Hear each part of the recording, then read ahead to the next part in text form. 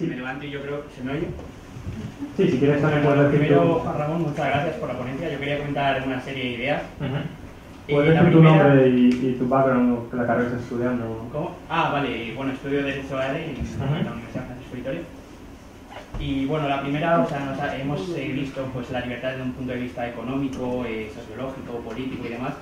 Pero por ejemplo, en esta casa que, que damos mucha, mucha importancia a las humanidades y demás, me gustaría cómo, cómo entiende la libertad y en la esfera de personal el, el liberalismo, la libertad humana, individual y personal, más allá de un análisis social y demás. Esa es la primera. Eh, la segunda es eh, relacionado con el tema de la Constitución y tal, porque claro, eh, siendo la Constitución, teniendo una orientación social de la economía, hasta qué punto el liberalismo es compatible con la Constitución, o es que si no lo es por esa orientación social de la economía, eh, la Constitución debe ser reformada en sus principios más fundamentales. Y la tercera es, eh, en un sistema capitalista donde el capital genera más capital, ¿qué mecanismos tiene el liberalismo para corregir esa tendencia a la desigualdad económica? Sea, bueno, lo que entiendo es. eh, o sea, no he entendido muy bien la primera pregunta. ¿Cuál es la, la visión del liberalismo en cuanto a libertades personales? Imagino que te refieres a- al desarrollo humano de las personas eh, dentro de su esfera de libertad, ¿no?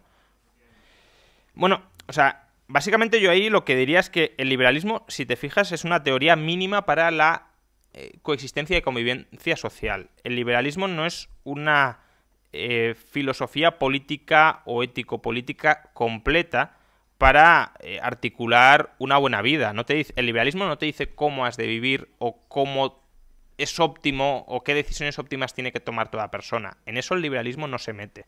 El liberalismo lo que dice es, eh, primero, no todo lo que pueda- podamos considerar vicioso tiene que estar prohibido, ni tampoco todo lo que podamos considerar virtuoso tiene que ser impuesto de obligatorio cumplimiento, sino que vamos simplemente a trazar los límites mínimos indispensables para la convivencia de las personas. Y dentro de esos límites, cada cual desarrollará su propio proyecto de vida. Algunos de esos proyectos de vida serán proyectos desastrosos, que probablemente lleven a las personas a arrepentirse al final de sus vidas de las decisiones que han tomado. Y en esa medida también es bueno, es positivo que en una sociedad haya gente que se preocupe, digamos, por reorientar modelos de vida o decisiones vitales que tomen otras personas que sean disfuncionales para, para el buen vivir a largo plazo. Pero lo importante es que esas reorientaciones se lleven a cabo de manera voluntaria y cooperativa, porque obviamente si tú colocas al frente de un organismo estatal de reorientación social, eh, pues a un político, lo que tienes ahí es la URSS, básicamente. Es un adoctrinamiento sistemático por, por parte de entes estatales y campos de reeducación según una particular concepción que además planteate que no tiene por qué ser ni siquiera la mejor, será en la medida en que tengas capacidad para imponerlo, muy probablemente será la que más le interese a aquel que tiene la capacidad de imponértelo. Bien. Entonces, en ese sentido, eh, el liberalismo es muy compatible con muchas moralidades distintas y de hecho eso en cierta medida es lo que busca que cualquier marco de moralidad que no atente o que no se intente imponer sobre otros marcos de moralidad pueda desarrollarse. Es decir, eh, ¿por qué las sectas religiosas en el siglo eh, XVII, XVIII se marchaban a Estados Unidos? Pues básicamente porque buscaban un espacio en el cual poder desarrollar su fe. Sea esa fe verdadera, falsa, da igual. Pero buscaban ese espacio de libertad que solo les concedía en esa época de conflicto religioso permanente en Europa, solo les concedía eh, país nuevo en formación que era Estados Unidos. Una colonia nueva en formación que era Estados Unidos. Entonces, ese, esa concepción de, de archipiélagos de libertades, de islas de libertades, de islotes de libertades donde eres autónomo frente a los demás para desarrollar tu vida, es la idea de libertad personal del liberalismo y ahí entra todo. Es decir, ahí entra la libertad de drogas, la libertad de expresión, la libertad de inmigración, muchas libertades que, insisto, no todas tienen por qué ser conducentes a una buena vida. Ese es otro plano de debate. Si drogarse es bueno o es malo. La cuestión es, eh, aunque sea malo, ¿lo puede prohibir el Estado? ¿Puede el Estado restringir tu libertad para impedirte que consumas sustancias que estás consumiendo tú porque las quieres consumir? ¿O eso, si consideras que es algo que se debe desalentar socialmente, no tiene más sentido que lo desalientes montando una asociación contra las drogas y haciendo campaña social contra las drogas? el eh, Instituto Juan de Mariana. El Instituto Juan de Mariana es una asociación que promueve el liberalismo. ¿Qué deberíamos hacer? ¿Dar un golpe de Estado, conquistar el Estado e imponer el liberalismo? No. Lo que hacemos es tratar de promover las ideas liberales desde la sociedad. Porque consideramos que son las mejores ideas para articular la convivencia y la cooperación humana. Pero, obviamente, eh, respetando que otras personas a lo mejor no lo ven así y esas otras personas tienen derecho a no verlo así y a vivir de otra manera, siempre y cuando, y esto sí lo decimos, siempre y cuando no nos arrastren a nosotros a vivir como ellas quieren vivir. Es decir, si un señor se quiere montar una comuna, pues se la puede montar. De hecho, hay experiencias.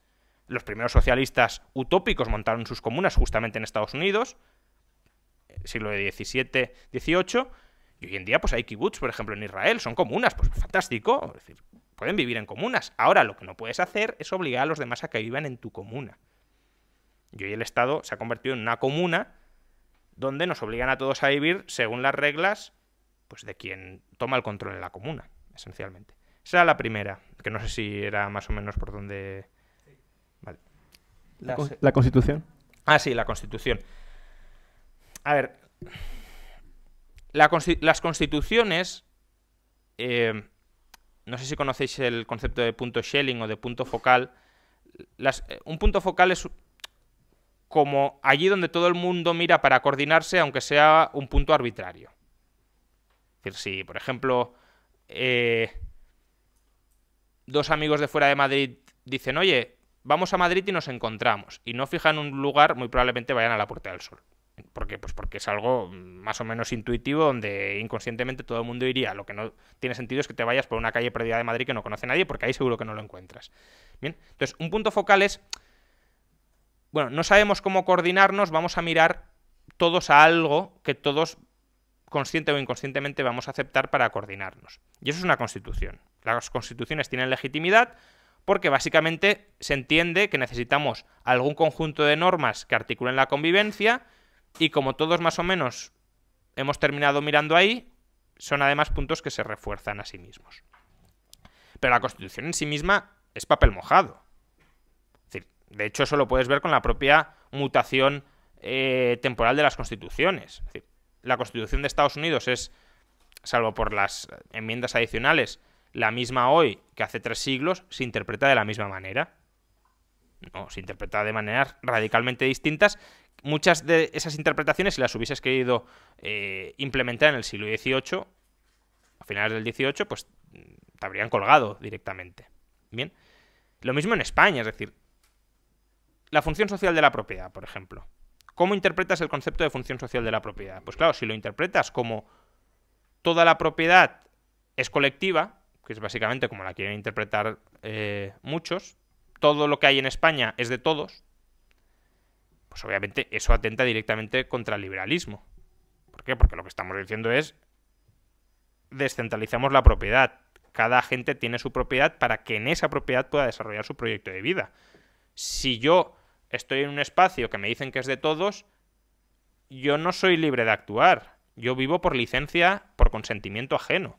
Lo que yo pueda hacer o lo que yo no pueda hacer depende de lo que el resto me consienta arbitrariamente, caprichosamente, que puedo querer hacer o no. Ahora, si tú interpretas, por ejemplo, la función social de la propiedad como la propiedad privada es socialmente buena, la propiedad privada permite la convivencia social, la propiedad privada permite el crecimiento económico, la propiedad privada permite la cooperación social, pues bueno, esa función social de la propiedad yo creo que está más que cumplida con la propia existencia de la propiedad privada. Depende cómo lo interpretes. En un sentido será incompatible con el liberalismo, en otro sentido no. Ahora, en general sí que creo que la Constitución, las constituciones modernas, son constituciones que, como decía antes, adolecen de esa visión expansionista o imperialista de los derechos. No son constituciones como lo eran al principio. y aún así pues terminaron siendo ineficaces, pero no, son constituciones como lo eran al principio, constituciones pensadas para limitar el poder del Estado, para decirle al Estado, el límite de su actuación está aquí, sino que son constituciones para habilitar el poder del Estado. Constituciones que le dicen, no se quede corto, usted puede llegar hasta aquí y tiene la obligación de llegar hasta aquí. De hecho, fíjate, es decir, eh, no tenemos derecho a la vivienda garantizado, en el sentido de que el Estado no nos roba el dinero para construir viviendas oficiales que luego repartan los políticos como, como tengan en gana. No tenemos ese derecho garantizado, no hay políticas muy, muy, muy activas, afortunadamente, de construcción de vivienda pública. Y lo que se reclama es la Constitución dice que usted, Estado, tiene la obligación de articular este tipo de políticas. Por tanto, la, Constitución, en este caso, no solo no restringe la competencia del político, sino que le está llevando a ir más allá de lo que incluso el político se atreve a ir hoy. Por tanto, sí, probablemente hubiese que reformar las constituciones, simplemente las constituciones deberían ser eh, documentos que expresen principios normativos muy generales dentro de los cuales se desarrolla el derecho las bases del derecho, pero no las normas concretas del derecho. Y la tercera, sí, sobre el capital que llama capital y demás. A ver, el capital llama al capital o el capital genera capital mientras ese capital se invierta bien. Si el capital se invierte mal, el capital no genera capital. De hecho, el capital destruye capital. Y yo creo que el hecho de que el capital genere capital mientras se gestione bien, y gestionar bien significa crear una enorme cantidad de bienes o servicios que valoran todos los demás, es positivo que sea así. Es decir, si un médico es un muy buen médico, lo que nos gustaría a todos es que concentrara al mayor número de pacientes, que trate a la mayor cantidad de gente. No se nos ocurriría decir, no, es que este médico ya está tratando a mucha gente. Obviamente, si ya el médico, porque trata a mucha gente, lo empieza a hacer mal, sí, pero si el médico lo sigue haciendo bien y quiere seguir tratando a mucha gente, no se nos ocurriría decir, este médico está tratando a mucha gente, lo que tenemos que hacer es quitarle pacientes y dárselo a otro que se los está cargando a, centenares, ¿no? Diríamos, bueno, este médico cura, este cirujano es bueno, pues que siga tratando pacientes. Con la gestión del capital, deberíamos tener una visión parecida. Si hay un señor que es capaz de invertir el capital, y de generar mucho valor con el capital y que reinvierte el capital y lo sigue reinvirtiendo a altas tasas, lo que tenemos es un muy buen gestor del capital que está gestionando mucho capital siempre y cuando lo siga gestionando bien. Porque no es un derecho eh, permanente el que disfruta a seguir gestionando el capital. En cuanto deje de hacerlo bien, y ya no con respecto a las nuevas inversiones de capital, sino incluso con las inversiones que tiene hasta ese momento, pierde todo su valor. los señores que tenían Kodak, pues se quedaron petrificados y lo perdieron todo. Ya no se trata de que los beneficios que generara Kodak los mal invirtieran, no, es que las instalaciones que tenían de Kodak, la orientación del modelo de negocio de Kodak, te lleva a que todo lo que hubieses acumulado hasta ese momento lo pierdas. Y hoy es que es al revés, es decir, hoy la la población, mucha gente, a raíz de Piketty y demás economistas y, por supuesto mucha demagogia política, tiene la sensación de que cada vez eh, más recursos están concentrados permanentemente en menos manos, y es que es al revés. Es decir, en el siglo XVIII, siglo XVII, incluso parte del siglo XIX, sí podía tener cierto sentido esa visión de ver el mundo. ¿Por qué? Pues porque efectivamente el factor principal de producción era la tierra y quien fuera dueño de las tierras pues no tenía que hacer mucho. Porque es que la tierra se movía sola, o sea, se movía sola, que rentaba sola. Podía haber malas cosechas o buenas cosechas, pero en gran medida por causas exógenas. Y tú le legabas la tierra a tus hijos y tu hijo seguía siendo rico porque la tierra era lo que producía. Hoy no. Hoy tú lo que tienes son ideas de cómo organizar los recursos para generar valor para los demás. Y si sale alguien con una idea mejor que la tuya, tu idea deja de valer. No porque sea mala, sino porque es peor que la otra. O porque es algo peor que la otra. Y esas ideas son difíciles de trasladar y de eh, legar. Obviamente tú puedes eh, dar en herencia a una empresa. Ahora, como no seas capaz de seguir gestionándola como la gestionaba tu padre, esa empresa pierde su valor. O como no seas capaz, ya no de seguir gestionándola tan bien como la gestionaba tu padre, sino de gestionarla mejor que la empiecen a gestionar otros que aparezcan en ese momento en el mercado, tu empresa deja de tener valor. Entonces, la tasa de mortalidad y de natalidad de empresas nunca ha sido tan alta como hoy.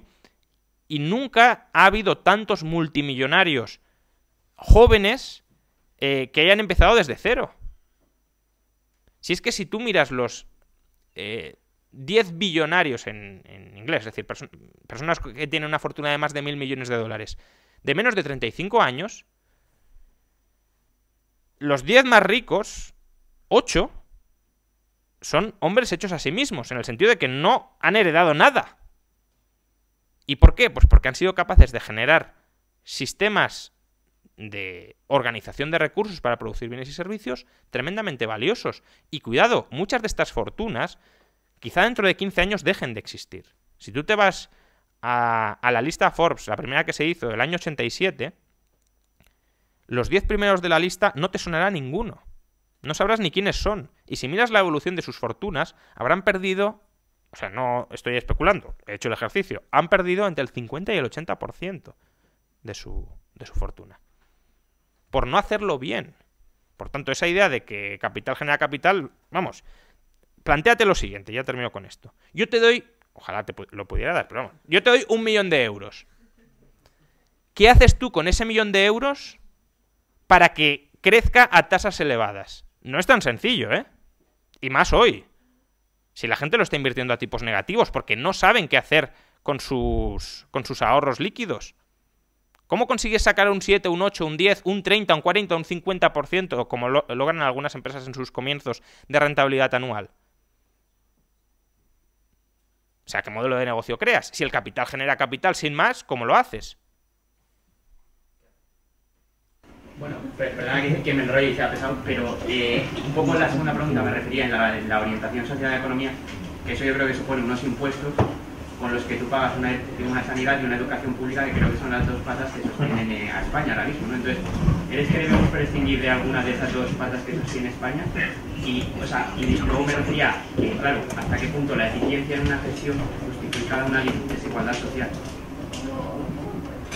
A ver, eh, empiezo por el final y luego voy a la primera. A ver, no es una desigualdad en la gestión. Es tú has creado un algo que antes no existía y lo has creado en tu propiedad y es tuyo. O sea, Facebook ¿por qué vale lo que vale? Porque Zuckerberg extrañamente se haya convertido en tío gilito y haya acumulado en una piscina eh, miles de monedas de oro, no. Facebook, ¿por qué vale lo que vale? Pues porque ha creado un sistema de organización de recursos que se espera que genere durante los próximos años muchísimos beneficios. Y como ese sistema se espera que durante los próximos años genere muchísimos beneficios, la cuestión es, ¿ese sistema hoy cuánto vale? O sea, yo, ¿por cuánto estoy dispuesto a comprar eso que espero que genere muchos beneficios durante muchos años? Entonces, claro, eso vale muchísimo. Pues ahora no sé si están 150 mil millones de dólares, etc. Y la cuestión es, ¿eso de quién es? Pues de quién lo ha creado, ¿no? Porque no lo tenemos que quedar al resto. No es, que no es que esos recursos se los haya arrebatado al resto. Es que antes Facebook no existía y el mundo era 150 mil millones de euros más pobre, o de dólares más pobre. Y por tanto, si yo creo algo y eso algo, ese algo se pone en valor porque se espera que ese algo va a generar muchos bienes y servicios futuros, ¿de quién es ese algo que se ha creado? Pues del creador. ¿Yo por qué tengo un derecho sobre Facebook si no he hecho nada con él? Bien, bueno, lo que he hecho pues crearme la cuenta, etcétera, pero eh, ahí estoy recibiendo un servicio, un servicio que yo juzgo valioso y que me, ha sido más que suficiente para crear la cuenta. ¿Por qué quiero ir más allá si no lo he necesitado para relacionarme con Facebook. Si todos los de esta sala, por ejemplo, te dan a ti 100 euros, ¿por qué te los han de quitar si todo el mundo aquí te los ha dado voluntariamente? ¿Por qué tiene que venir otro y decir, no, pero son míos? No, mire, cada uno de nosotros tenía 100 euros y, te los hemos querido dar a ti. Porque nos has caído bien o porque nos has prestado un servicio que todos valorábamos en más de 100 euros. Porque se has de quitar a otro, porque es de otro. Vale, sí, tú acumularás muchos cienes de euros, pero es que puedes haber hecho felices a muchísimas personas. En cambio, ¿yo qué he hecho para quitártelo? ¿Qué les he hecho a esas personas para que en lugar de dártelo a ti me lo tengan que dar a mí? Bien. Y en cuanto a la primera, bueno, yo disputo la idea de que hoy las dos patas que sostengan España sean la educación pública y la sanidad pública. No, no dudo de que sean, bueno, y más en una universidad privada, pero bueno, eh, no, no, no dudo de que sean dos patas que puedan sostener a, a, muchas familias. Es decir, todos los que trabajen en esos sectores, obviamente, estarán muy agradecidos de que existan y de que tengan empleo en esos sectores. Pero, a ver, la sanidad y la educación pública no son regalos que nos otorga el Estado eh, de manera gratuita y desinteresada. La sanidad y la educación pública se financian con nuestros impuestos y por tanto lo que deberíamos plantearnos es, ¿es mejor que el Estado me quite de entrada una parte de mi sueldo o una parte de, de los ahorros que yo tengo y que me obligue a gastarlos de una determinada manera que no tiene por qué ser la manera en la que yo quiero gastarlos? Y no digo de que, y no estoy hablando de que en lugar de gastarlo en educación, lo gastara, ya digo, en tomar copas todos los fines de semana. Estoy hablando incluso, aunque esa persona quiera gastarlo en educación, a lo mejor no lo quiere gastar en la educación que le está proporcionando el político de turno. A lo mejor esa persona quiere ir a otro centro de enseñanza distinto al que le está ofertando el político de turno. ¿Por qué me han de quitar a mí dinero para que lo administre un señor al que no tengo ni por qué haber elegido, ni haber apoyado, ni, ni, me tiene por qué caer bien, ni tengo por qué creer en su, en su modelo de ver la sociedad, y no me dejan administrarlo a mí, que es quien ha generado ese valor, para incluso adquirir la misma clase general de bienes que ese señor me está obligando a adquirir. Es decir, ¿por qué tengo que ir yo obligatoriamente a un colegio público y no me dejan que ese dinero lo pueda destinar a otro tipo de colegios no públicos? No que tenga que pagar dos veces, que eso todo el mundo lo puede hacer, o sea, todo el mundo que tenga dinero lo puede hacer y es la solución más sencilla. Usted está obligado a pagar esto y luego ya si quiere se va a otro lado. No. ¿Yo por qué estoy obligado a pagar esto? ¿Por qué el dinero que me han obligado a destinar aquí no lo puedo destinar a pagarles la educación a mis hijos en otro sitio que yo considero mucho mejor? Podrías decir, bueno, porque hay gente necesitada que no se lo puede pagar. Bueno, incluso comprando ese argumento, que habría mucho que hablar, ¿por qué no me obligan solo a pagar la parte proporcional de la gente que no se pueda pagar la educación pública y la sanidad pública? ¿Por qué me hacen pagar todo el coste de mi plaza? Porque una cosa es, ya digo, que te quiten una parte de tu dinero para aquella de tu sí, de tus ingresos para aquellas personas que no se puedan costear ciertos servicios y otra que te obliguen de facto, si no eres clase media alta o clase alta, que te obliguen de facto a ir a la educación y la sanidad pública porque una vez has pagado la enorme mordida de impuestos que supone la educación y la sanidad pública, no te queda dinero para ir a otro lado.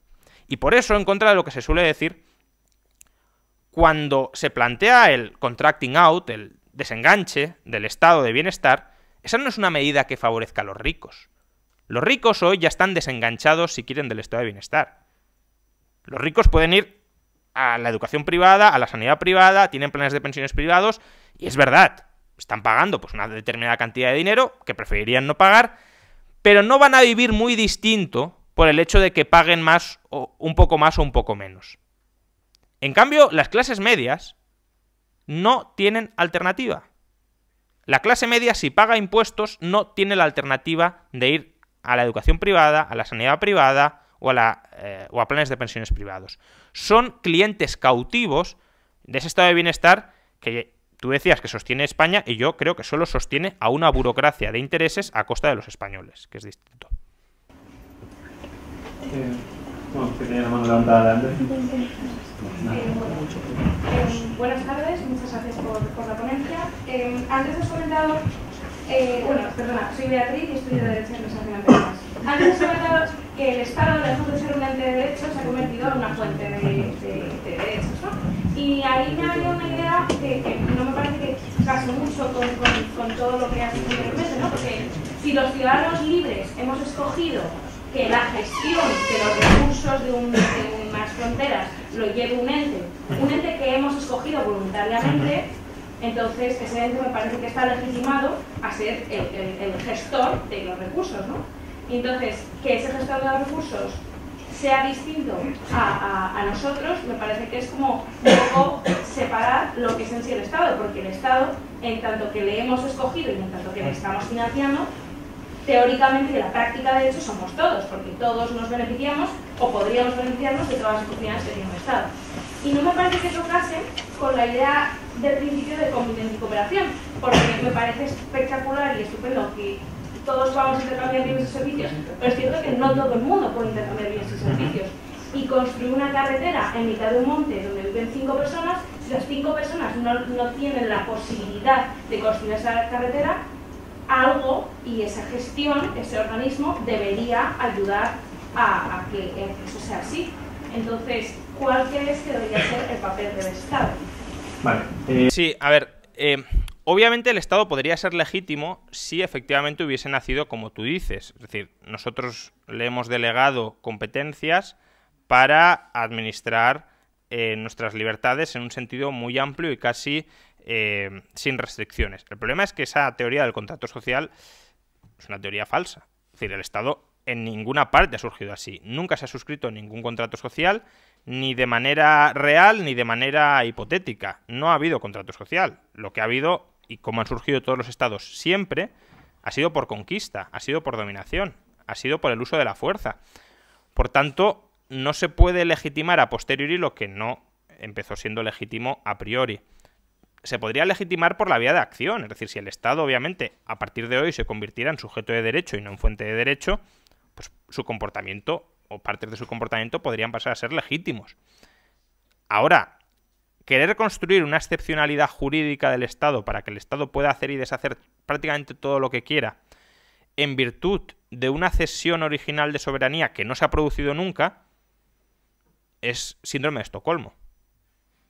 Es, eh, yo estoy en la cárcel y el carcelero tiene derecho a gestionar mi vida porque yo quise estar en la cárcel, ¿no? ¿Cuándo ha querido estar usted en la cárcel? Es decir, ¿tú cuándo has cedido tu soberanía al Estado? Pues en tanto que ciudadana española y no de Islandia, y voluntariamente he decidido construir bueno. Primero que no... Primero que no todo el mundo quiere ser ciudadano español. Ahí hay unos cuantos catalanes que están pensando de manera distinta.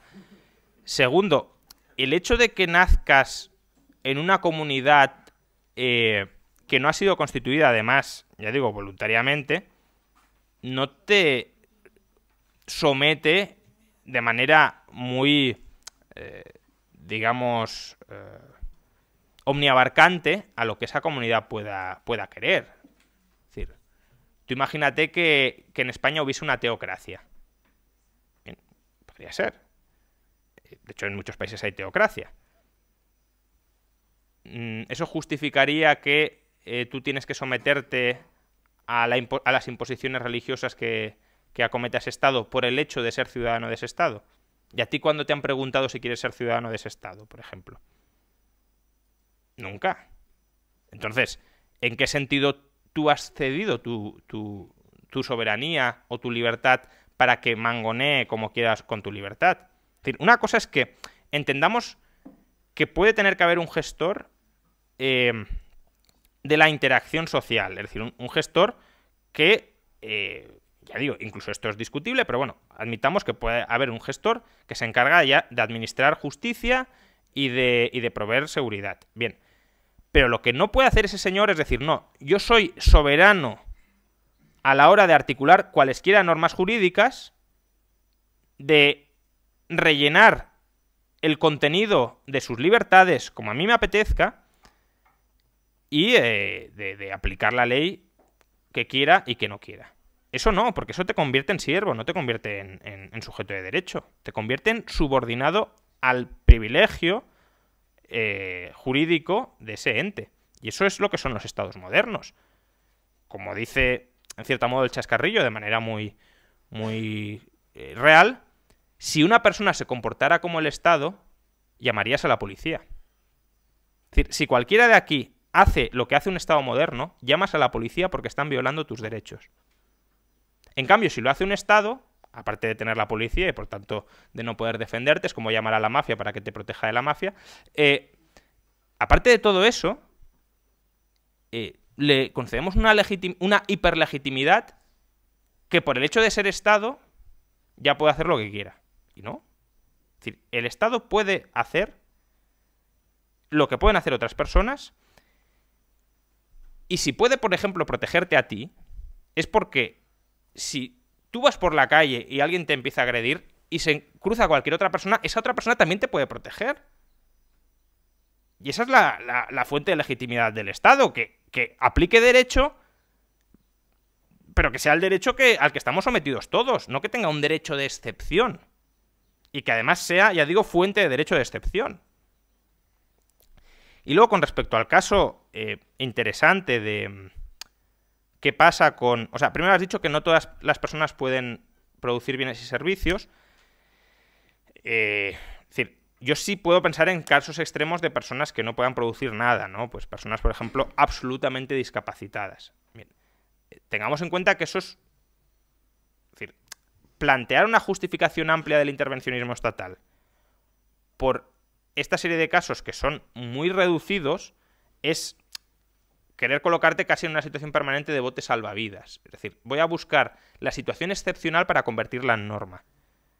Eh, uno puede decir, bueno, la norma es la norma y luego hay excepciones a la norma. Y si, por ejemplo, eh, es verdad, hay personas que no pueden de ninguna manera subsistir, podríamos argumentar si esas personas tienen algún tipo de derecho frente al resto de la sociedad para que sigan vivas, etcétera. Bien.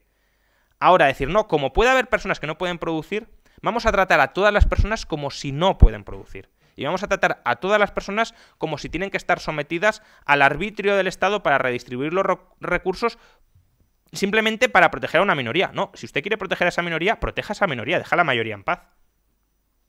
Bien. Y sobre la carretera, bueno, eh, a ver, este es un tema que, claro, como hemos caído en esa concepción extendida de derechos, es decir, el caso de la carretera a lo mejor es el caso más... Eh,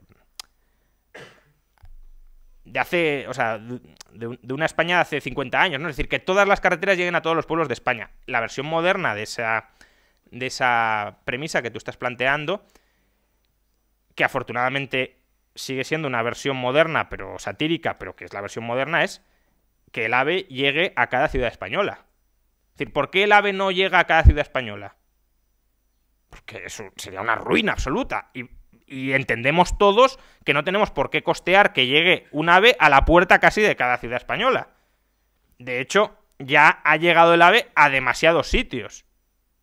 ¿Por qué? Porque es carísimo, no es rentable en ningún punto de España, y si encima ya nos vamos a ciudades con muy pocos habitantes, lo que estás haciendo ahí es darle un subsidio gigantesco de, por parte de las personas que nunca van a coger el AVE a, las personas que sí lo van a coger. Y además es un subsidio generalmente regresivo. Eh, es decir, ¿quién coge normalmente más el AVE? Las personas que tienen que viajar mucho entre ciudades por motivos normalmente de negocios. Es decir, la típica familia de yo vivo en Castellón y me van a construir un AVE a Madrid y así podré ir de turismo una vez al año o sea, le estás haciendo pagar a esa familia, a lo mejor en coste de AVE, 4.000, 5.000 euros, que eso es lo que cuesta el AVE por, por familia, para que vaya de vacaciones a Madrid tres veces en su vida. En cambio, le estás dando una subvención enorme al directivo que está yendo Madrid-Castellón, Madrid-Castellón todos los días, que está viajando en un tren maravilloso, en un despacho casi personal, que el billete le tendría que costar a lo mejor 300 euros y, le, paga 30. ¿Por qué tiene que ser la familia que va a viajar tres veces a Madrid, que a lo mejor le habrían costado esas vacaciones mil euros, le, haces pagar cinco mil para que el otro vaya cómodo? Bueno, pues lo mismo con la carretera. Es decir, vivir en una ciudad, en muchos sentidos, es muy desagradable. Primero por la contaminación, luego por la aglomeración, luego por las interdependencias que se generan, que yo no puedo hacer esto porque molesto al otro, etc. Luego por las normas más estrictas, obviamente, porque en la medida en que hay muchos choques de convivencia que hay en una ciudad.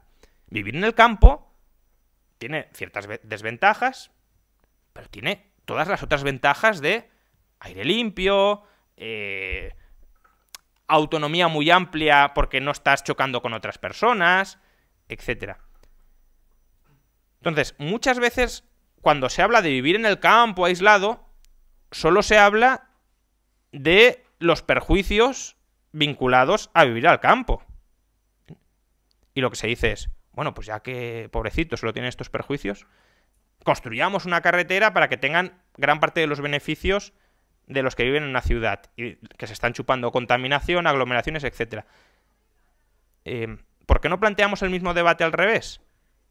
¿Por qué no les decimos a los del campo, oiga, eh, paguen un impuesto extraordinario para cubrir la contaminación de los que viven en la ciudad? Porque ustedes se están beneficiando gratis de aire limpio, aire puro, eh, mucha, ya digo, mucho, mucha esfera de libertad o de autonomía propia, y en cambio los otros están muy penalizados de vivir en una ciudad por esta vía. ¿Por qué si justificamos los impuestos sobre los que viven en la ciudad para pagarles la carretera a los que viven en el campo, pero no los impuestos al campo para, yo qué sé, construir una depuradora en una ciudad?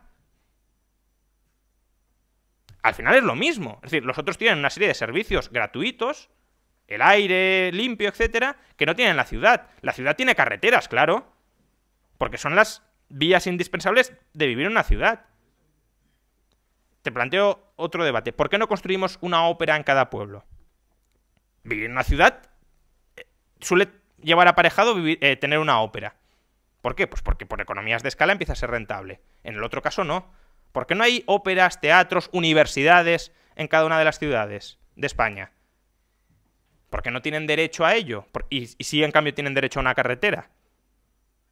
¿Cuál es la diferencia? ¿Es más importante una carretera con una universidad? ¿Y por qué creemos que hay que llevar una carretera o un ave o un tren o un aeropuerto a cada punto de España y no una universidad? Y sobre todo, ¿quién paga eso? Porque a mí, claro, si la gente del pueblo o de los pueblos de alrededor dicen, oye, que nos organizamos para pagar tanto, porque queremos viajar mucho, y pagan la carretera, fantástico, tampoco es tan caro hacer una carretera, ¿eh? No, quiero decir, no es una cosa de ingeniería muy avanzada, es coger un camino y asfaltar, punto. Eh, pues si se reúnen en mancomunidad los pueblos de alrededor y quieren pagarse una carretera, me parece muy bien.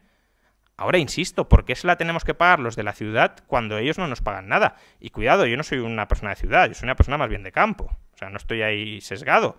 Pero es que me parece, o sea, habiendo vivido en las dos partes, veo las diferencias de calidad de vida, la ciudad te aporta unas cosas, el campo te aporta otras, y veo al campo siempre quejarse de no tener los beneficios de la ciudad. Y querer que la ciudad subvencione al campo. Pues oiga, si usted quiere vivir con beneficios de una ciudad, váyase a una ciudad. Vende su casa en el campo y alquila un piso en la ciudad. Y al, y al revés, si usted quiere los beneficios del campo, pues vende lo que tenga en la ciudad y se va al campo. Pero eso de decir, no, la ciudad, el campo como si fuera una microciudad, con todos sus beneficios y algunos de la ciudad pagados por la ciudad. Bueno, pues eh, ahí lo que tienes es una transferencia interna de rentas clarísima. Eh. Buenas tardes, gracias por, compartir esta conversación con nosotros. Eh, mi nombre es Sergio Puentes, de la universidad. Quería, antes dijiste, hablando sobre las universidades públicas, la sanidad pública, que por qué le tenemos que quitar a las personas mediante impuestos si se la podrían pagar ellos mismos. ¿Qué pasa si esas personas no pueden encontrar eh, entidades eh, que se puedan, privadas que se puedan pagar? Es decir, si los impuestos que pagamos son menores de lo que nos costaría, de lo que nos costaría una universidad pública o ir a la sanidad pública, porque el Estado no solo se financia de los impuestos, también genera riqueza de alguna, de, alguna forma con inversiones que, que hace en el exterior. Entonces, mi pregunta es, eh, si, si, ¿qué, solución das si, real, si, si los impuestos que pagamos para la sanidad y la educación que nos ofrecen realmente son menores que si lo, que, si lo tuviéramos que pagar nosotros eh, de forma a una, a una, entidad privada? Y luego la, la otra cuestión que quería hacerte, eh, la gente, la, la, mayoría de la gente con la que hablo tiene la percepción de, la percepción de que el Fondo Monetario Internacional es una entidad absolutamente liberal. He escuchado decir alguna vez que el Fondo Monetario Internacional es más bien hijo del keynesianismo. Quería que me, que me, aclararas cómo puedo yo refutar, eh, con unos argumentos realmente válidos, que el Fondo Monetario realmente no es liberal, como cree la mayor parte de la gente, y es más bien, como tú dices, eh, hijo de, del keynesianismo. A ver, en cuanto a lo primero, Dices que el Estado genera ingresos más allá de los impuestos que tiene. Es verdad que puede tener algo de lo que se conoce como ingresos patrimoniales del Estado, pero eso es una porción absolutamente ínfima de, los recursos públicos. Es decir, el Estado se nutre esencialmente con impuestos. Impuestos, tasas, copagos, etc. Pero impuestos y cobros asociados a la prestación de sus servicios públicos. Las rentas que obtenga porque tenga inmuebles, que haya podido tener alguna inversión en el exterior, el Estado español no, ¿eh? pero bueno, podría ser Singapur, por ejemplo, si tiene algún tipo de ingreso por esta vía. Pero en el caso de España, ingresos y, pagos asociados a la prestación de servicios. Yo creo que no somos conscientes de los impuestos que realmente estamos pagando.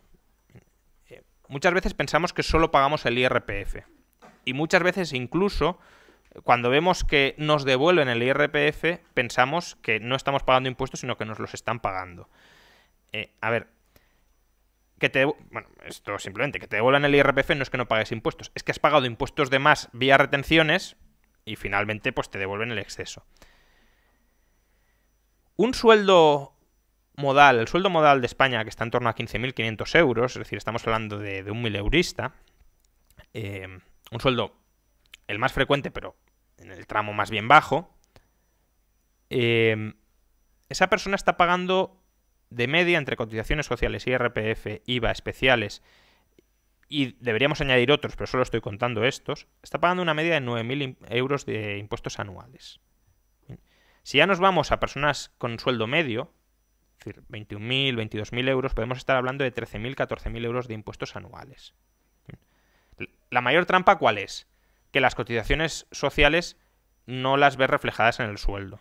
Pero cuando te dicen que cobras 15.500, en realidad cobras 20.000. Lo que pasa es que 4.500 ya te las han quitado antes de incluso verlo tú en la nómina. Bien. Pero eso es un tributo que estás pagando. Entonces, si sumas todo eso, insisto, el otro día salieron, por ejemplo, datos de, de la OCDE, de la cuña fiscal, y la cuña fiscal en España, cuña fiscal es básicamente la tributación sobre los salarios. No lo que pagamos luego por IVA, especiales, patrimonio, ahorro, no, todo eso no. La tributación exclusiva sobre los salarios es el 40% del salario. Del salario antes de, o sea, con cotizaciones sociales. Es decir, un salario con cotizaciones empresariales de 20.000, que es un salario de, de 15.500, paga, bueno, en este caso estaríamos hablando de 35%, paga 7.000 euros por impuestos directos. Luego añádele el IVA, los especiales y otro tipo de impuestos. Te vas a los 9.000. Eso, los sueldos mileuristas. El mileurista es 2.000eurista. Es el Estado el que lo convierte en mileurista. Entonces, claro, esa gente puede elegir, hombre, yo creo que esa gente puede elegir razonablemente bien sanidad, educación y pensiones. Obviamente no se va a poder ir al colegio privado de ultralujo mejor de España, pero es que no puede ir hoy tampoco. Es decir, no es que hoy estén yendo a colegios espectaculares donde vaya toda la élite española y ahora les vayas a quitar eso.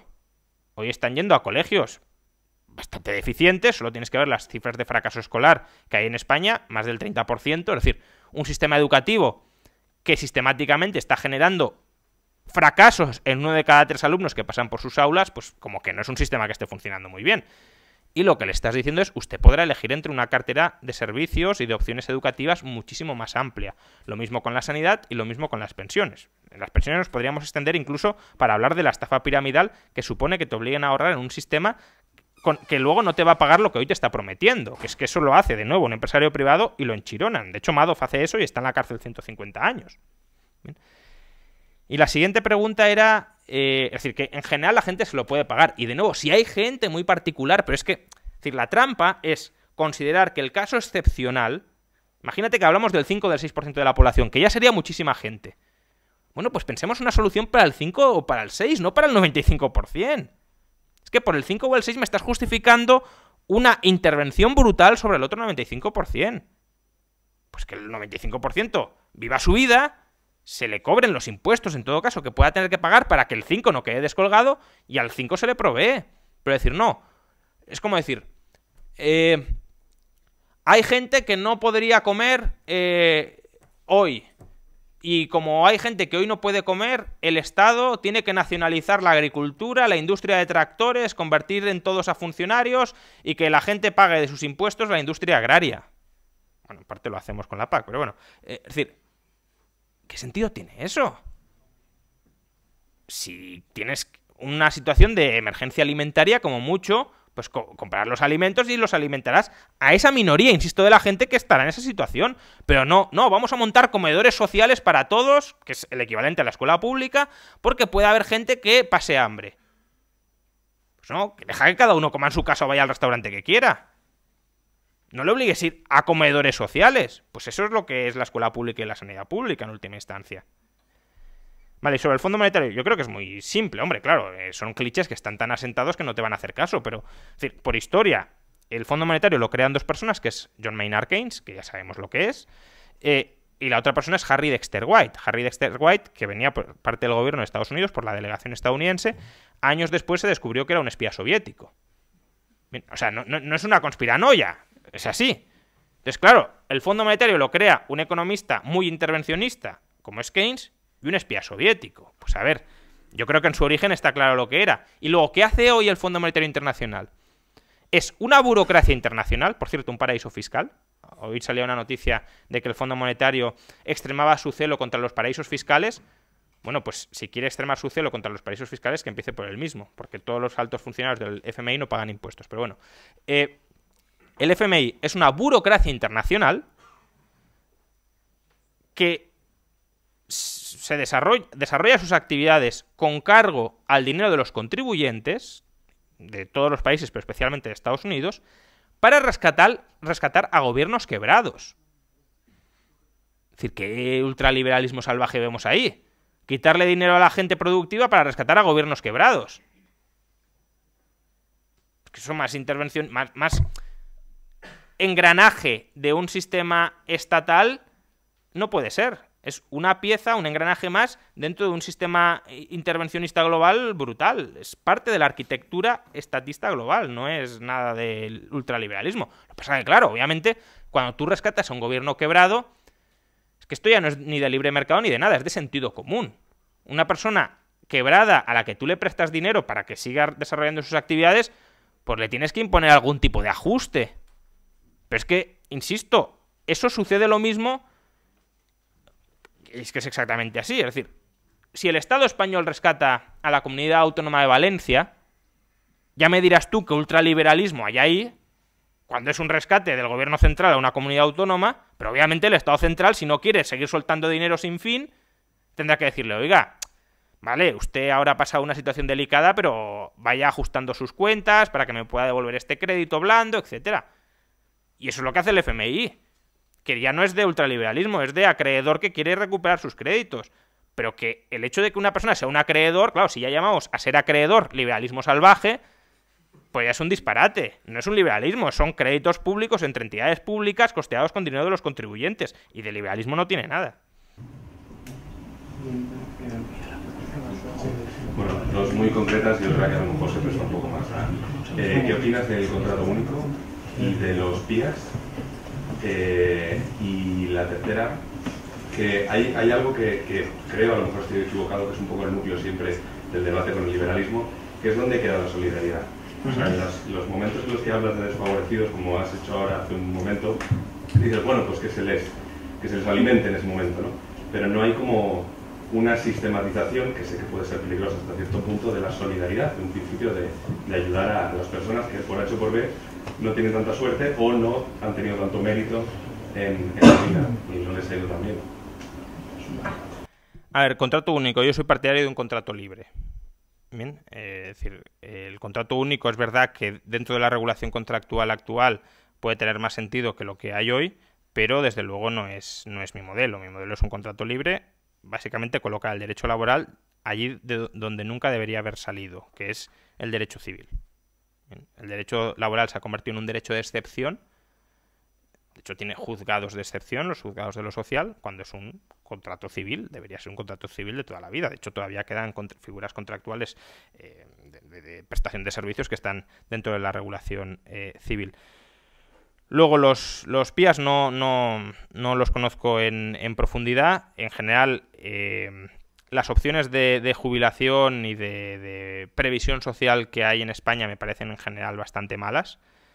Eh, empezando por los planes de pensiones. Básicamente todo aquello a lo que, eh, digamos, el Estado intenta favorecer fiscalmente eh, termina siendo más una herramienta de deducción fiscal que una herramienta para rentabilizar el ahorro, y eso en un entorno semi-oligopolístico de entidades financieras y de gestoras financieras y de aseguradoras que proporcionan estos servicios, lo que tiende a proporcionar son malos servicios, o sea, productos, sería una especie de fraude de ley, ¿no? Es decir, productos que supuestamente están pensados con una finalidad, que no cumplen realmente esa finalidad, pero que se elaboran para la finalidad real, que es minimizar tu carga fiscal, ¿no? Entonces, yo la, planificación financiera a largo plazo la plantearía más eh, con más cabeza, más allá del beneficio fiscal que te proporciona el Estado. Pero ya digo que no, no, no los conozco bien y por tanto emitir un juicio eh, muy amplio, pues quizás sea injusto. Y luego la solidaridad. A ver, no sé a qué te refieres exactamente con que no hay una teoría sobre la solidaridad. Es decir, uno puede tener una teoría sociobiológica, si lo quiere, sobre la solidaridad y cómo surge la filantropía, el altruismo, etc. Y eso es algo que hay que investigar y que hay que sistematizar. Ahora, si de lo que estamos hablando es de establecer obligaciones políticas basadas en la solidaridad, yo creo que eso ya es algo bastante más delicado y bastante más eh, complicado. ¿Por qué? Bueno, de nuevo me, reitero en, eh, lo que sucede en esta casa. Es decir, Francisco de Vitoria, derechos universales, derechos humanos igualitarios para todos. Nosotros tenemos la obligación, que además, si la tenemos, sería muchísimo más intensa. Tenemos la obligación de ayudar eh, a la gente que tiene eh, algún tipo de dificultad, no lo sé, en Zimbabue? Pregunto, ¿eh? Porque si la tenemos, pues a lo mejor hay que eh, cerrar todos los hospitales y todas las escuelas de España y con ese dinero entregarlo a estas personas de Zimbabue que lo están pasando muchísimo peor que cualquier persona que en España lo esté pasando mal. Entonces, ¿por qué la prioridad es ayudar a tu conciudadano, entre comillas, y no a un extranjero que puede ser puede tener una necesidad muchísimo mayor y mucho más acuciante. Si es un principio de solidaridad, la solidaridad debería ir en primer lugar a la persona más necesitada, más con más urgente necesidad. En cambio, eso como lo saldamos, con una rúbrica que se llama ayuda exterior para el desarrollo, que en los buenos momentos llegó a tener 5.000, 6.000 millones de euros, hoy está en 1.500 millones de euros más o menos, pero bueno, estamos hablando de 5.000, 6.000 millones de euros. la educación pública son 50.000 millones. La sanidad pública son casi 70.000 millones. Las pensiones públicas y el desempleo son 135.000 millones. ¿Por qué destinamos todo este dinero a personas españolas que, aunque lo pasen muy mal, van a vivir muchísimo mejor que mucha gente que se pueda estar muriendo de hambre alrededor del mundo? ¿Y por qué no canalizamos ese dinero hacia allí? Pues porque entendemos que podemos tener algún tipo de obligación moral con esas personas. Pero lo que no podemos hacer es vivir nuestras vidas subordinadas a otras personas. Porque al final, si tenemos que ayudar a toda la persona, a toda persona necesitada de todo el mundo, nos convertimos en misioneros. Y ser misionero está muy bien, para quien quiera volcar su vida en ello. Pero las personas también tienen otros planes vitales que pueden anteponer a la labor de ser misioneros. Bien, entonces de la misma manera que no obligamos a la gente a irse de misiones al tercer mundo, que podría ser también una obligación, ¿eh? No todas las obligaciones tienen por qué ser crematísticas. A lo mejor tú dices, yo no tengo dinero, yo no puedo contribuir. Bueno, no puedes contribuir monetariamente, pero puedes contribuir con tu tiempo. A lo mejor podrían decir, este año no estudies en la universidad, te vas a África a ayudar al tercer mundo. Oye, que hay gente necesitada. ¿Por qué no? porque entenderíamos que es un ataque muy grande contra tu libertad, contra tu plan vital de desarrollo y de crecimiento personal. Entonces, ese mismo juicio no lo elaboramos o no lo trasladamos cuando son obligaciones entre nacionales. Es decir, si hay una persona que se queda descolgada en España, decimos, no, aquí todo lo indispensable. ¿Pero por qué? Es decir, ¿es más persona un español que un extranjero? No sé, Claro, pero o sea, a ver, que lo que haces es elevarlo ya a un debate moral, eh, que en fin, que sería mucho más largo. Pero, Bueno, pero es que me has preguntado por una teoría de la solidaridad. Sí, pero quiero decir, si ya desde el liberalismo no estoy viendo cómo puede haber, eh, o sea, que no hay una sistematización de alguna manera de una solidaridad para con quien está en tu mismo país, planteármelo en el de otro me parece que es como tratar de saltar tres escalones y primero hablar del primero, ¿no? O sea, Pero, sí, pero ¿por qué es más básico lo de tu país que lo de otro? Si son todo personas. pero por una cuestión de una cuestión práctica, de, de poder hablar de este tema de una manera práctica y acotarlo a una realidad nacional. Pero ¿por qué nacional? Eh, eh, eh, es decir, es decir, porque una persona que está desempleada en España tiene más derechos que una persona que se está muriendo de hambre en Zimbabue. Claro, pero desde el liberalismo no estoy viendo que haya eh, una consideración ni para el que está pasando mal aquí ni para el que se está muriendo de hambre en Zimbabue. Por eso pregunto si la hay. Como que no. Tú quieres ayudar, ayuda. ¿Te preocupa? Entiendo que te preocupe y es muy válido que te preocupe, ayuda. O sea, queda, digamos, al libre. Pero es que, pero es que en los estados modernos también queda libre albedrío. Si el 51% de, la- de los españoles dijera no queremos solidaridad para el resto, ¿qué haríamos? Desmantelar todo el estado de bienestar y no dar ninguna transferencia. Por tanto, en democracia también queda el arbitrio. Lo que pasa es que es el arbitrio de la mayoría, pero sigue siendo el arbitrio. Si la mayoría dice no queremos solidaridad para nadie. De hecho, las ayudas al tercer mundo se han recortado en democracia.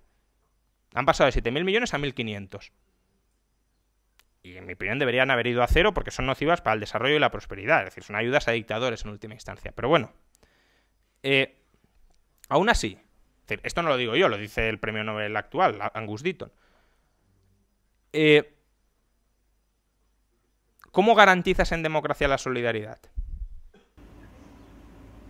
Hombre, supongo que, aunque sea torpemente, quizá a base de impuestos y a base de. No, no, pero si la gente dice, no, no, pero si la gente vota, suprimimos los impuestos porque no queremos ser solidarios, ¿cómo, cómo lo garantizas? Claro, el tema es que la, la gente no vota eso. Bueno, pues entonces, si la, si la gente quiere ser solidaria, o sea, tú lo dejas al arbitrio de la gente, ¿bien? Y yo lo dejo al arbitrio de la gente. Si, si mi gente quiere ayudar, ayuda. Si tu gente en democracia quiere ayudar, ayuda. Pero si mi gente no quiere ayudar, no ayuda. Y si tu gente no quiere ayudar, no ayuda. Es decir, tú estás diciendo, la gente en general quiere ayudar. Pues que ayude. Porque lo tiene que articular a través del Estado. Ahora, cuando la dejas libre del Estado, dices, no, no querrá ayudar. Pero entonces, ¿por qué asumes que votando sí querrá ayudar? ¿O lo que estás queriendo decir es que la gente quiere ayudar con el dinero de los demás?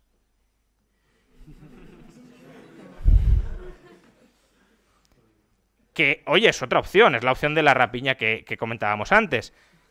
Pero de lo que no se da cuenta mucha gente es de que quiere estar ayudando con el dinero de los demás y en realidad te está ayudando con el dinero propio. Bien. Entonces, eh, a mí me parece muy bien que haya campañas de concienciación social. Incluso yo estoy a favor, y esto ya sería más largo de debatir, de rentas mínimas de inserción para la gente que esté en una situación de extrema necesidad. Pero de extrema necesidad, de verdad, no... eh, bien. O sea, creo, cre- cre- creo que eso se puede justificar como una supervivencia de la capacidad de agencia, que es en última instancia lo relevante para la estructura de derechos de una sociedad. Bien, es decir, que haya agentes, que haya personas que actúen.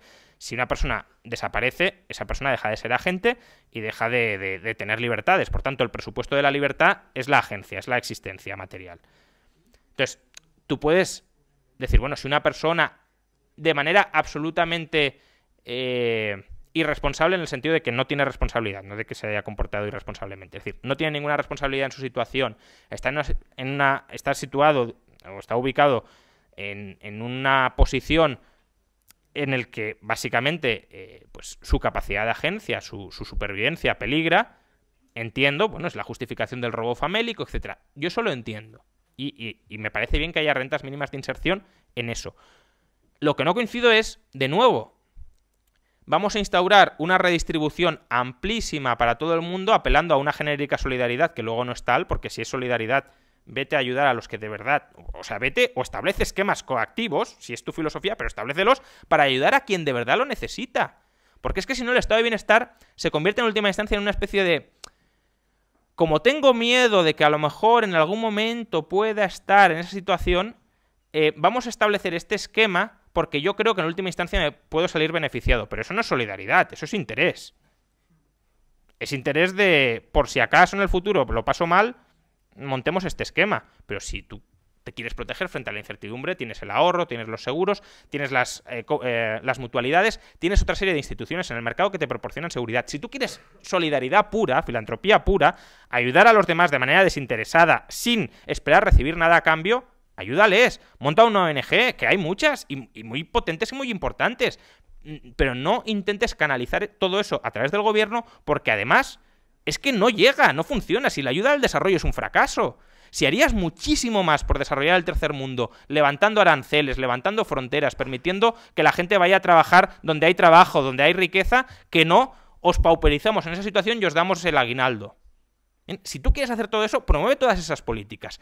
Y luego ya si acaso, si sigue habiendo gente absolutamente descolgada que no es capaz de salir adelante, hablemos de rentas mínimas. ¿Estoy de acuerdo? pero no los masivos esquemas redistributivos que tenemos hoy que se nos venden con la excusa de la solidaridad y de ayudar a los más desfavorecidos y son esquemas que aprisionan a la clase media, no a los más desfavorecidos, ni mucho menos. Eh, que planteen las que hay y contestamos en bloques. Vale, por favor. Pero muy, muy rápido porque ya Preguntas muy rápidas y muy concretas, si podéis decirlas. Bueno, eh, bueno, yo soy Gonzalo, eh, estudio Derecho ya de la Juan Carlos y estoy eh, trabajando en la asesoría fiscal. Y quería preguntar, eh, bueno, soy seguidor y, admirador y muchas gracias por la charla, por estar aquí. Quería preguntar, en mi esquema, el liberalismo me resulta muy intuitivo, mm, resultado natural de la evolución del ser humano en sociedad, como ser social partiendo de la base de que nos organizamos en comunidades, eh, las menos las ciudades, las más los estados, etc., eh, me pregunto, en primer lugar, si hay ciertos sectores donde no hay oferta y demanda real, como pueden ser la justicia, mm, la defensa, policía, defensa nacional, de uh estados, eh, etc es legítimo un estado mínimo para cubrir estas, eh, estas mm, bien, donde no, no, hay oferta y demanda real, por lo cual no se puede cubrir con la iniciativa privada. Si se me escapa algo y podríamos subsistir sin este estado mínimo. Y, evidentemente, si es legítimo, ¿cómo se paga? Porque para pagarlo, ¿de qué manera es legítima? A mí se me ocurre eh, como dos impuestos que se me ocurren más o menos legitimables desde un punto de vista liberal, sería uno, el IVA, puesto que vivimos en una sociedad de consumo, y dos, el otro que se me ocurriría más a nivel municipal sería el IBI, en el supuesto de nadie te obliga a tener una casa, pues estar alquilado. Si hacen falta, ¿verdad?, alcantarillado, farolas, etcétera, que lo pagan los propietarios, porque se puede vivir sin ser propietario. El resto no se me antojan justificables, pero mm, por tener una opinión, si se me escapa algo, Gracias. El siguiente. Eh, sí si, no, si el Estado se redujera a un sujeto de derecho, ¿quién haría las leyes? ¿Quién ejecutaría las leyes? ¿Quién, los tribunales de justicia? ¿Las cámaras? La pregunta es, ¿cómo se regularía el Estado de Derecho? Vale. vale. Quería preguntar si no crees que el liberalismo es una utopía. Vale. Pero, bueno, vale. Eh, ayer más economía. El BCE está tomando medidas de más un poco convencionales para la pero me gustaría saber tu opinión eh, sobre cómo crees que todo esto se va a desarrollar si sigue sin tener éxito eh, a la hora de reactivar Bueno, respondemos rápido porque si no... Eh, sí, a ver... Eh, el debate que abres es muy amplio. Es el debate sobre minarquismo o anarquía o órdenes policéntricos. Eh, a ver, eh, yo creo que un Estado mínimo no es necesariamente ilegítimo si es, digamos, el único equilibrio de coordinación social posible. Si es un equilibrio Nash, digámoslo así, eh, y es el único equilibrio Nash posible, no un equilibrio Nash de muchos uh, posibles, sino el equilibrio Nash dominante, eh, creo que en ese caso, bueno, tú puedes hablar de lo que quieras, si es legítimo o ilegítimo el Estado, pero el caso es que es y no puede ser otra cosa. Entonces, en ese caso, lo que habrá que intentar es ver cómo ese ente encargado de prestar determinados servicios que se tiende a convertir en dominante por, propia evolución natural y no hay alternativa, eh, pues conseguimos constreñir sus competencias, su poder, su poder, y someterlo a derecho. ya, ahora luego contesto esa, esa pregunta. Eh, no está tan claro que sea así. Es decir, yo planteo, si eso es así, entonces yo lo vería como legítimo. No está tan claro que sea así, de hecho hay mucha investigación académica al respecto sobre la organización de órdenes policéntricos. Eh, una de las últimas premios Nobel de Economía, Linor Ostrom, en, en gran medida su, labor ha sido esa, estudiar los mecanismos de organización de órdenes policéntricos no estatales. Pues bueno, ahí hay un campo de investigación, yo soy agnóstico en principio, eh, creo que si... si si fuera posible organizar la sociedad de otra forma que no implicara sometimiento a los estados sería más legítimo, pero lo que no está claro es que sea viable. Bien. Eh, impuestos, tipos de impuestos. El IVA me parece un impuesto más aceptable que grabar la renta o que grabar el ahorro, básicamente porque puedes escapar no consumiendo. Bien. Si, si grabas la fuente de renta ya no puedes escapar de ninguna manera. Y luego, por supuesto, el IBI me parece un impuesto mucho más justificable porque es el equivalente muy cercano a la cuota de una comunidad de vecinos. Bien. Siempre y cuando el IBI, eso sí, se utilice para pagar estrictamente servicios comunes. Claro, cuando el IBI ya se utiliza para pagar otra serie de actividades que si pagaran las comunidades de vecinos, pues colgaríamos al presidente, pues ya no, ya no, ya no parece tan legítimo. Bien. Eh, ¿Quién elabora las normas? A ver, normas, ley privada, lex privada, contratos. Es decir, las normas son las, los tratos y las interacciones entre las partes. Eh, es verdad que puede haber normas para regular, digamos, interacciones no consentidas. Agresiones, por ejemplo, daños. Entonces, tú tienes para las interacciones consentidas los contratos, no hace falta que haya ninguna norma superior, lo que hay en el contrato es ley. Y para las interacciones no consentidas, ahí obviamente lo que tienes son los principios generales de derecho que hemos descrito antes, es decir, propiedad, contratos eh, y libertad. Y ahí quien desarrolla, o sea, quien aplica en la práctica y de alguna manera concreta y, y, y le da un rostro humano, si lo queremos, a esos principios generales en las controversias que naturalmente emergen en cualquier sociedad, son los tribunales la jurisprudencia de los tribunales es la que va determinando cómo se aplican esos criterios. No tiene, no esa, es, la idea del derecho romano consuetudinario, del common law inglés y del derecho que surge desde abajo y no desde arriba impuesto. Bien, entonces, eh, así sería como se organizaría. El Estado, como mucho, puede decir, eh, los contratos que firmen dos partes son ley para las partes y yo, por tanto, los aplico.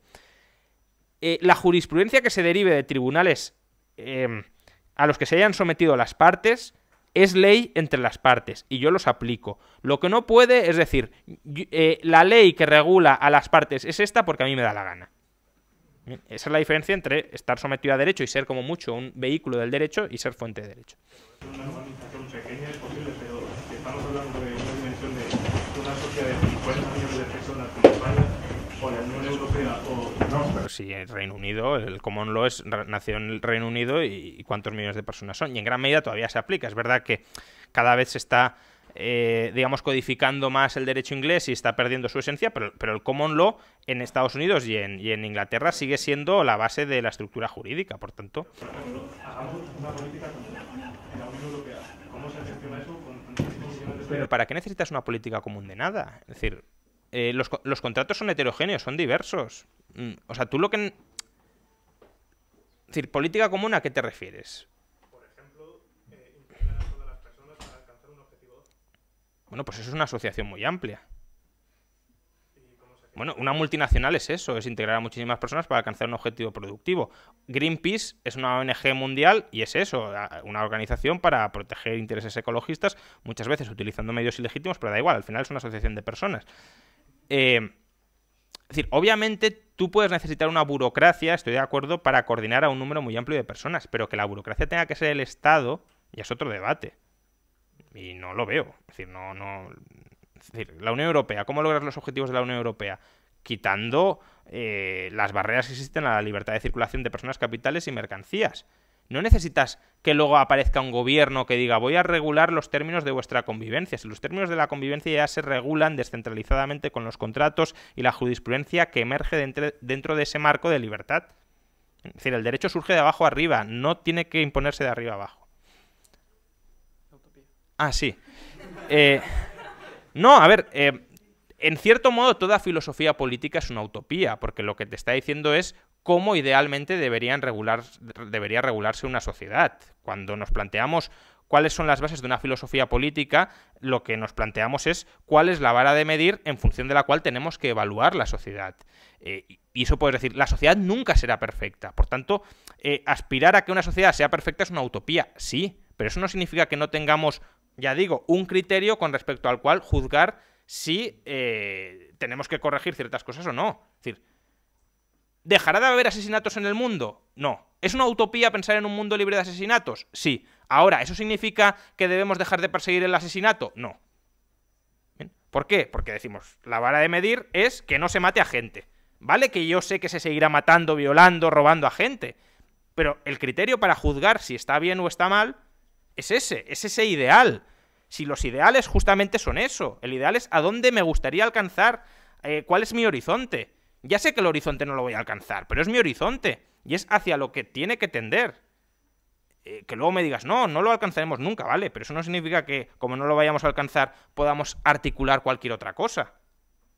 Si tú me planteas, el liberalismo, las premisas del liberalismo son realistas. Es decir, es el mejor sistema de convivencia para un mundo donde la gente pues es egoísta, no es buena persona, no tiene información perfecta, tiene sesgos de, captación de información, de tomar decisiones.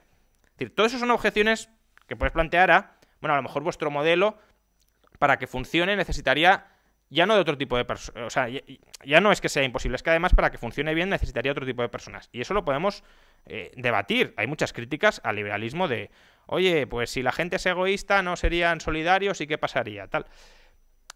Yo creo que después de analizar todas esas críticas que se pueden hacer de manera más o menos eh, razonable, eh, no porque nos alcance el ideal, sino porque a lo mejor incluso queriéndolo alcanzar no conseguimos ni siquiera nada parecido, el liberalismo es una filosofía política muy realista, porque además en muchas ocasiones se falsea el debate. Es decir, se compara el liberalismo real, o el liberalismo que realistamente podría llegar a aplicarse, con todos sus fallos, que desde luego los tendría, con el Estado angelical. Y eso es viciar el debate. Es decir, si tú me comparas la realidad del liberalismo en el mejor de los casos, comparémosla con la realidad del Estado en el mejor de los casos. Y la realidad del Estado, en el mejor de los casos, son corruptelas, tráfico de influencias, abusos de poder, etcétera. Es decir, la política es eso.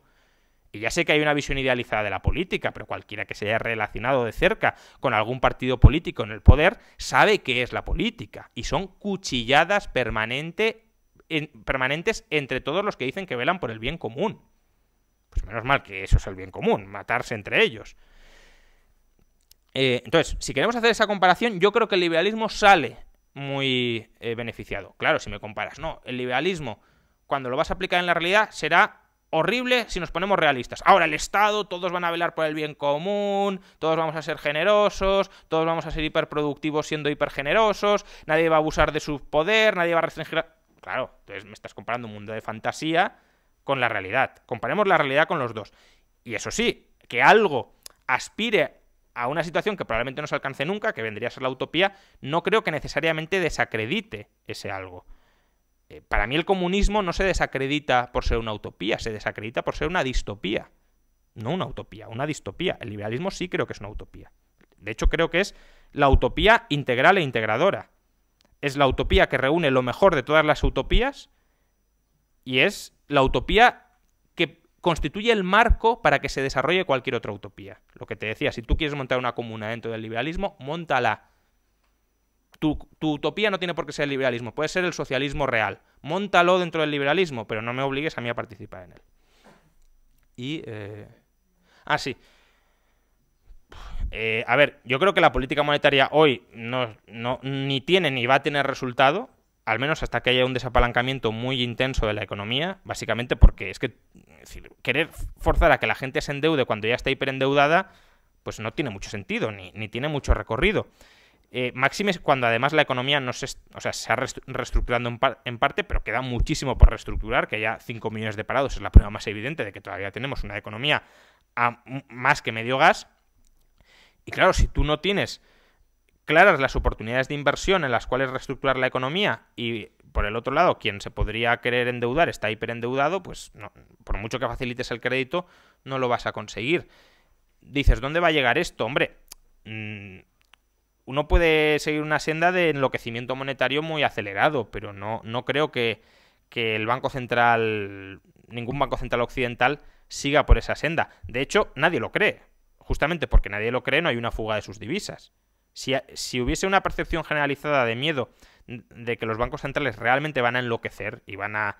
Porque al final lo del helicóptero están planteando, vale, darle mil euros a cada persona. Vale, pues sí, tienes una cierta, un cierto aumento de la masa monetaria, pero es algo de una vez, en una situación de altísima demanda de dinero. Es como si mañana el Estado dice, yo voy a emitir deuda pública, eh, pues no sé, eh, 40.000 millones de deuda pública y les voy a dar tanto dinero a cada español. ¿Vale? Pues es una locura, porque emitir 40.000 millones de deuda pública, pero bueno, al final es lo que gastamos para recapitalizar a los bancos. En lugar de darles a cada persona 1.000 euros, lo que sea, se lo dimos a los acreedores de la banca. ¿Pasó algo? Pues hombre, si los estados son más o menos solventes, etcétera, pues es una mordida a los ciudadanos futuros, pero, pero no se cae el estado por eso con la política monetaria, pues tres cuartos de lo mismo. Que haya una vez un helicóptero, pues bueno. Ahora, claro, si sale el Banco Central y dice, no, cada mes vamos a ingresar mil euros, pues tranquilo, que vas a tener una fuga de la divisa y vas a tener una hiperinflación porque la gente dejará de demandar esa divisa y se refugiará en otra. Pero es que eso no lo cree nadie porque no está en el ánimo de ningún banquero central hacer eso. Y, y como se sabe que no lo van a hacer, pues la política monetaria, incluso a la hora de generar inflación, está siendo ineficaz. Entonces, ¿dónde va a llegar? Pues no sé, cometerán alguna locura monetaria más. Los tipos de interés negativos ya son bastante locura monetaria, pero que al final es como una especie de impuesto encubierto a, los depositantes. Eh, y algo más, pero, pero no, no, no, se van a cargar la divisa porque se cargarían la gallina de los huevos de oro. Y, y, muy probablemente hasta que la economía real y la economía financiera real no se hayan readaptado, todas estas medidas de estímulo monetario no surtirán efecto. Pues muchas gracias, Juan Ramón. Eh, y muchas gracias a todos. Sobre todo reitero a, a, María Pilar y a la Universidad Francisco Vitoria por tenerlos aquí. Y espero que os haya gustado. Muchas gracias. Muchas gracias a todos.